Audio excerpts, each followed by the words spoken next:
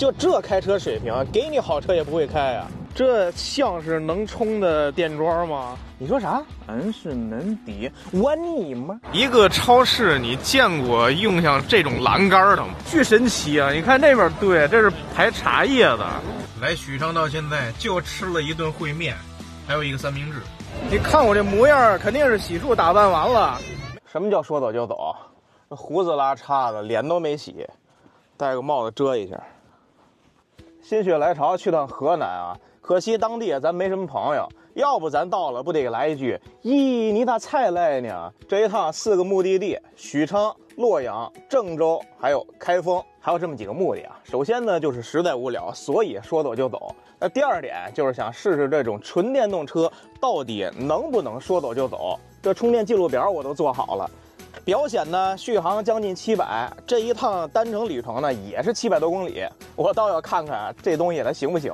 那第三点呢？还没想好，先出发再说。这还没怎么着呢，满电续航六百八的车，这跑了二十五公里，百分之十的电已经没了。可能也是这车在室外停了一晚上，刚起步的时候是零度左右。我这把方向盘和座椅加热都打开了，这还没敢开最大档呢，空调才二十二度。我现在考虑这个音响啊，到底听不听？反正最低到百分之三十，我就得找充电站了。这就是所谓的里程焦虑了吧？我看出来了，这表显满电六百八的续航，实际上百分之一也就三公里的续航，这等于是我跑了百分之五十电量，现在一百五十公里，两个小时都不到。下一个收费站说什么我都必须得找充电桩了。我现在开始理解网友说的养个电动爹是什么感觉，这妥妥的里程焦虑啊！好家伙，这像是能充的电桩吗？这成拉一堆了。找了半天，就这俩，试试吧。两块一一度电，别管怎么说，能充就行呀。从百分之四十三开始充，这电流四十一千瓦，十一点多充满，这肯定我充不满就得走啊。我这第一站目的地本来定的是许昌，为什么呢？胖东来，我老早就在网上听说过河南有这么一个超市，特别有名。这不闲的没事儿嘛，就说第一站先去那儿看一看。一般来说，我这种自驾长途旅行啊，都是吃喝车上会准备很多。这一次什么都没带，反正第一站想的是去超市嘛，去逛一逛，就该买什么都买了。这按照原计划导航说，满打满算下午四点就到了。我还真是第一次啊，开这种纯电动上高速这种长途自驾。这晚上能不能到也不知道，这个行程到时候看吧，可能需要得调整一下。旁边来了辆比亚迪，我就想不明白，这混动 DM-i 你跑高速充什么电呀？烧油比什么效率不高啊？还有一个事儿，朋友们，就像这种高速充电桩，你看看离那个去卫生间呀、你买其他商品的地方要走很远，你每一次充电的整备时间和你去加油站。这完全没法比呀，这效率太低了。又来了一辆智己 LS 六，最夸张的是，它刚才是开自动泊车进来了。行，我知道你有这功能了。不过非常讨厌的一点是，现在我两辆车用的是一个充电桩，它把我的功率全都抢走了。刚才我表显最高是四十八千瓦。现在它一来，我就剩二十一千瓦了。这啥沃尔沃呀？你这三电系统干不过人国产呀？咦，这是弄啥嘞？一个小时啊，充了到百分之八十二的电量，半道呢还来一个电动车把咱这个功率给抢了，真是弄不了啊！这个电动爹呀，我算是第一次啊，在长途自驾尝到了这种里程焦虑的问题。在这个犄角旮旯。还就四个，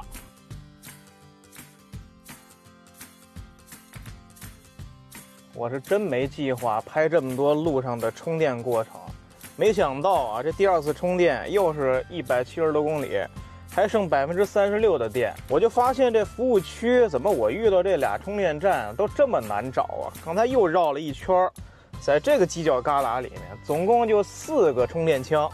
很幸运啊，我刚到这儿，正好有一个车刚充满，我紧接着就倒进来了。刚才有一特斯拉，前后差一点儿就让人家抢走了。我一进这服务区的时候，看见有一个还挺新的充电桩，那个位置我以为能进去，结果一看不行，这这这坏了。不过好在这个服务区的充电站啊，功率好像还挺高，目前我最高能到七十一千瓦左右，看上去的充电效率又比第一个快一些。你看这前面又来一辆比亚迪。刚才那个特斯拉等不及走了，准是我这幸亏啊，还不算是春节高峰期出来的，这要不这抢充电桩的情况那都不敢想象啊！我跟你们说，看我右面这辆车，又是那辆智己 LS 六，我还说这次的国家电网充电桩比上一次那个硬件要好，一直保持在八十多的充电功率，自打它来了之后啊，一下给我掉到三十多。这一次充到了百分之九十二的电量，最后应该是进入涓流模式了，才到十多千瓦的功率，太慢了。咱们赶紧继续旅程。我现在的导航显示我要晚上六点半到达，可是啊，以我对这辆车现在的续航表现来看，它至少还得再充个两次电才最稳当。我估计啊，这次的行程大概率要改变一下了。高速超车道开出八十的速度，就这开车水平，给你好车也不会开啊！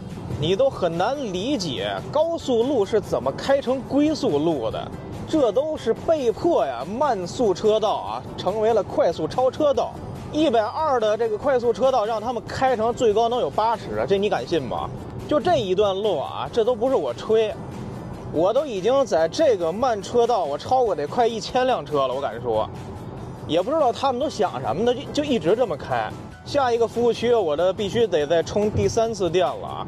但是这一次的能耗表现看上去比前两次充电都要好，因为那个室外的温度好像跟它的续航有直接的关系。现在的十五摄氏度。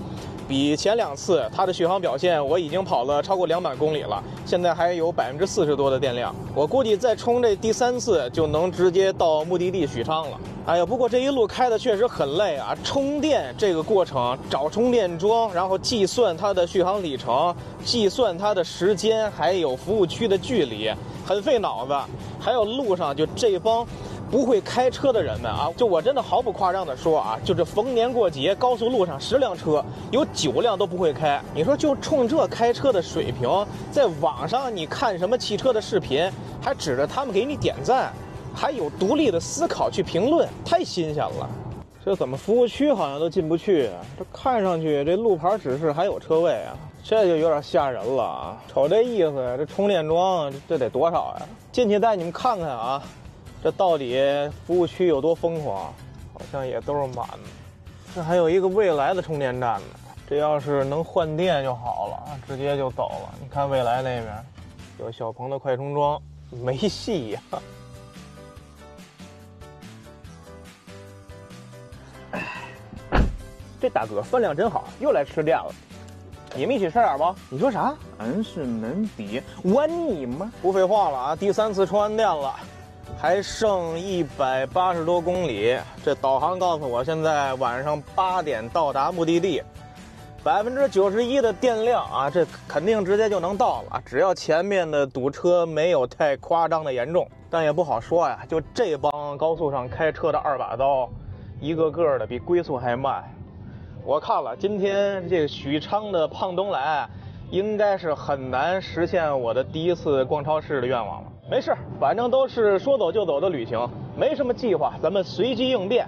希望前方的大哥们开车尽量顺畅一些。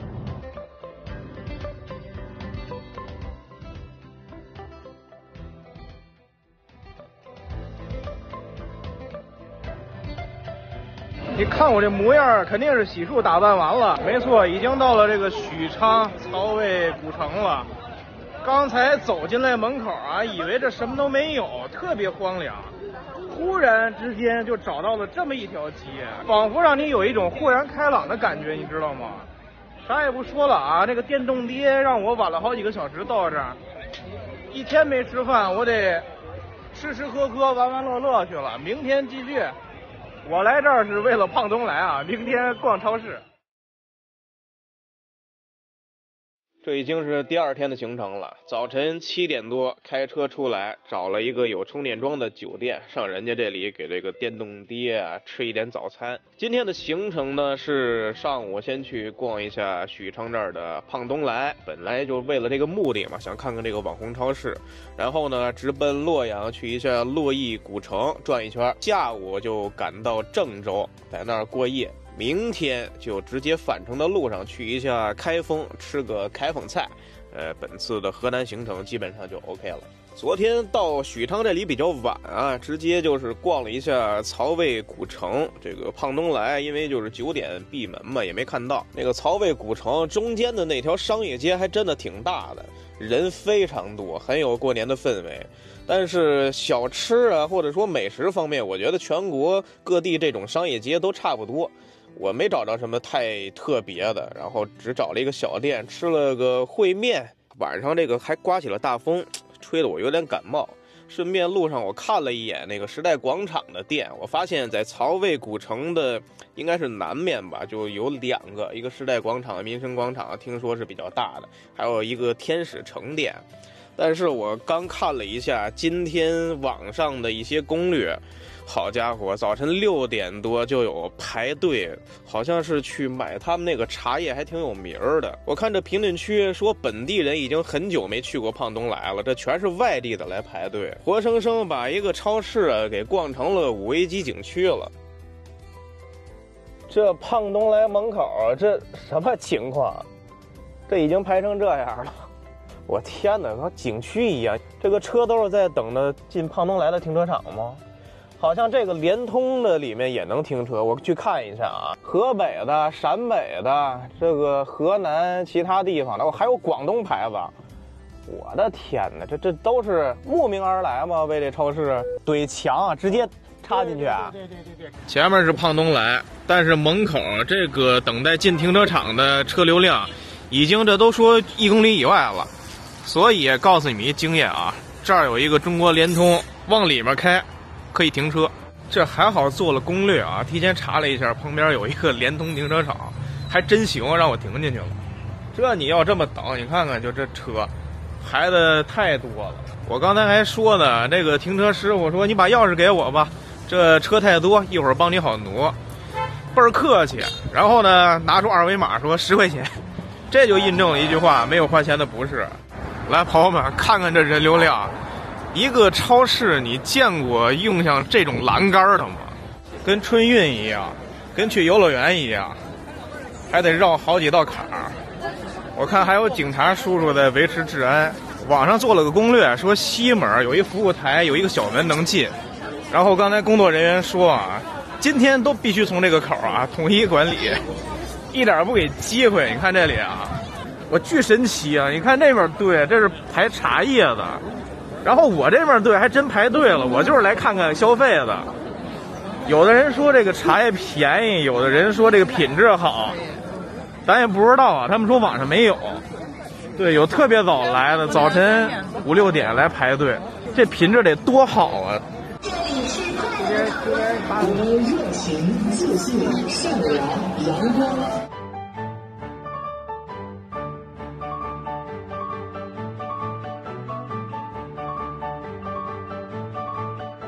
这进商场不算，看这超市，这超市还得排队，还得人流管控呢。你说说，见过这阵仗不？进超市二次排队啊？这就是他们说的那些鲜榨的果汁吗？还挺多，拿几个吧。太夸张了啊！刚才一进门，这个甜点区啊，就跟不要钱似的，哐哐的，他们一摞一摞的拿。我这也不知道为什么，也跟着就拿，大家都不看钱，上去就是没完没了的，太夸张了啊！胖东来出来这一趟，一共花了三百三十四块七，也不知道买了什么，反正一进门就跟着大家，他抢你抢我也抢，也不看价格，买了一堆吃的，反正因为早餐没吃嘛，呃，一会儿吃一下这个三明治。然后我看他这个这网红的大月饼，这是二十九块八一个，放在那个筐里，大家也没看价格，当然他也没写，就就有的一拿都拿一车，我也不知道为什么。鲜榨的果汁买了一个甘蔗，一个橙汁，倒不贵，橙汁十一，这个六块五。其他的那些果汁我看二三十。说实话，我觉得这个胖东来它物价也就很正常吧，也不算多优惠。包括它的这些东西啊，就和常规的一个超市没有什么区别。像现在这么多人，他的那个主打的服务，我觉得你也完全体会不到。大家应该都是一种从众、盲目的消费心理，来凑个热闹吧。我觉得没有太多新鲜的。建议各位大老远想来体验，说看看胖东来他所谓服务，那逢年过节就甭想了，因为你根本没有任何体验。我应该不到半个小时就逛出来了。不过像他的那个收费开的窗口还是比较多。所以没有太多的排队现象，当然它也有一些自动的结算窗口，还有它那些金店呀、茶叶店呀。因为我对这些不感兴趣，反正人也又多，我就不管了。咱们下一里程去洛阳洛邑古城。来许昌到现在就吃了一顿烩面，还有一个三明治。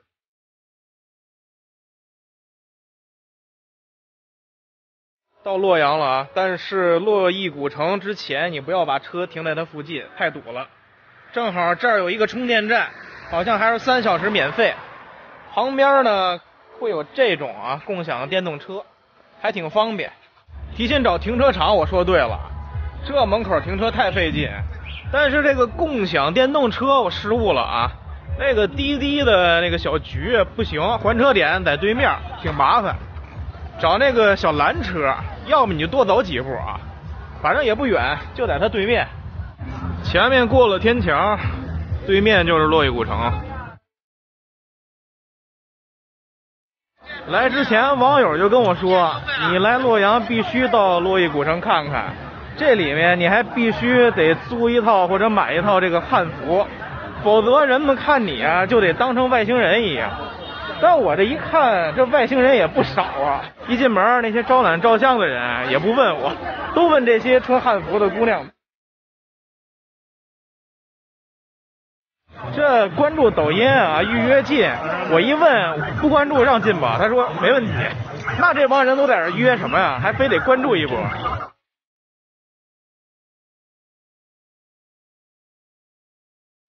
我这也没做攻略，这洛邑古城不是很古老的建筑吧？你看这下面这还有刚建的，还没建好的呢。那边甚至还有一个 VR 游戏厅，这你敢信？到处都是商店，吃的喝的，卖汉服的，这很现代嘛。主要是人也多，没有一专业摄影师陪着你，好像也照不出什么好看的东西。说实话，我这都逛半天了，没找到太多值得拍照摄影的角度。主要是人太多了，而且它这东西也都是很现代，非常商业。转了一圈落叶古城，出去了。你如果也跟我一样啊，一个人来这儿没什么意思。这里面商业太严重了，全是卖吃喝的，然后拍照的。美女姑娘们来找一个摄影师还挺合适的，拍拍照。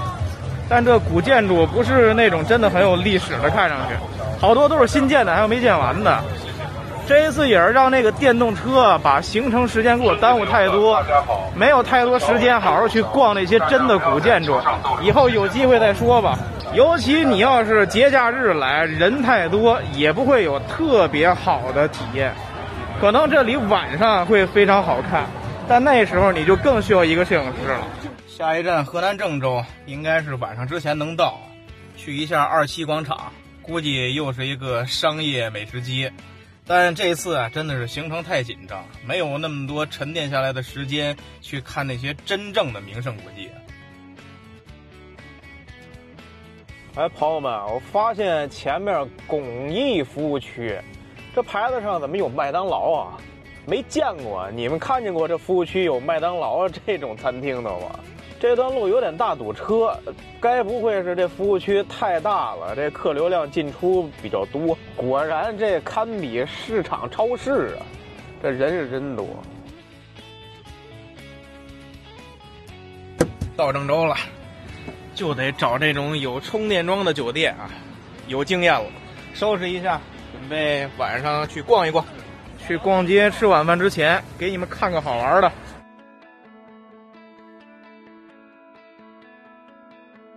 听说这叫大玉米啊，我也是专程坐地铁过来看看，但是里面就不去了。它上面好像有一个观景台，要票，要钱的事儿啊，我不敢。走了，吃饭去。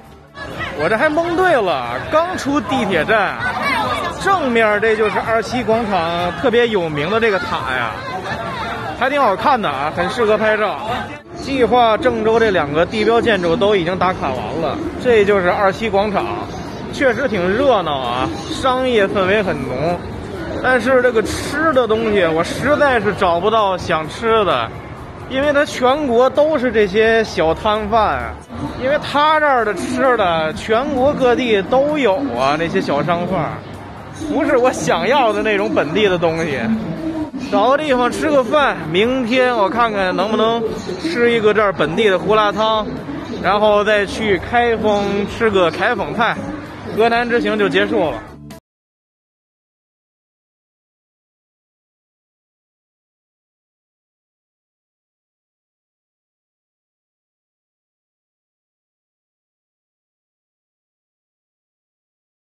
行程的第三天已经返程了，给大家做一个总结。这一次开电动车自驾旅行，我做了一个表格，就是每一次充电相关的数据这些信息。下一期视频呢，我把这些数据汇总整合一下，给大家再总结我这一次开电动车的一些实际的经验，就是大家说的纯电动车到底值不值得买。下一期视频我们好好聊一下。那么再聊两句这一次的游玩行程啊，其实安排的是三天，但因为开的是这辆电动车，确实耽误了很多的行程。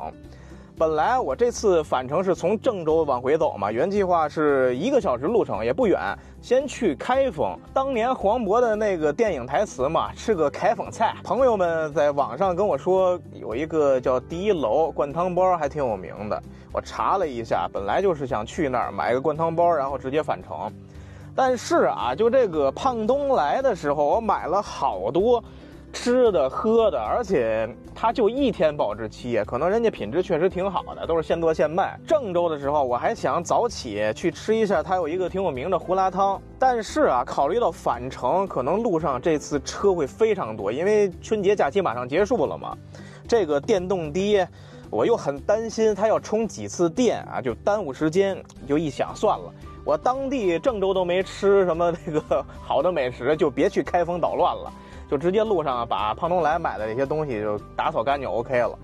所以这一次真的是走马观花，没有时间沉淀下来去好好看真正的名胜古迹，而且每一个景点儿所谓的都是拍了个照就算打卡了，主要还是为了去测一下这个纯电动车这一次的一些实际的经验，因为以前确实没有开过纯电动这样长途去体验它的一些性能表现。这也是我返程的第一次充电，因为我看了一下导航，前面好像有一些堵车的状况，我就有点担心。正好这儿感觉还是人比较少，就先来充个电。应该返程还会有至少两次充电，我才能回家。这一次我目前看到的一些用电规律。环境温度和平均车速是对它的续航表现有直接的关系。那 OK，这一次的河南自驾行就给大家算分享这么多吧。下期视频咱们好好聊聊这些用电方面的经验。记得点关注，我是超棒，拜拜。